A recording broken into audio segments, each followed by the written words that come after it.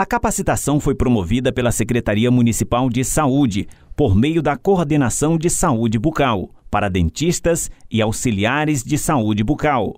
A formação ocorreu no auditório do SAMU, Serviço de Atendimento Móvel de Urgência, onde as informações foram repassadas. Os profissionais de saúde tomaram conhecimento da Portaria Ministerial 3.222, de 10 de dezembro de 2019, que trata sobre a proporção de gestantes com atendimento odontológico. Ou seja, o município de Caxias precisa agora atingir, no mínimo, 60% de atendimento de gestantes com serviços de odontologia. O Ministério da Saúde mudou a maneira do repasse. E nós temos agora indicadores que nós temos que alcançar essa meta para conseguirmos o repasse. A princípio vão ser 21 indicadores. Nós agora recebemos o repasse de 8.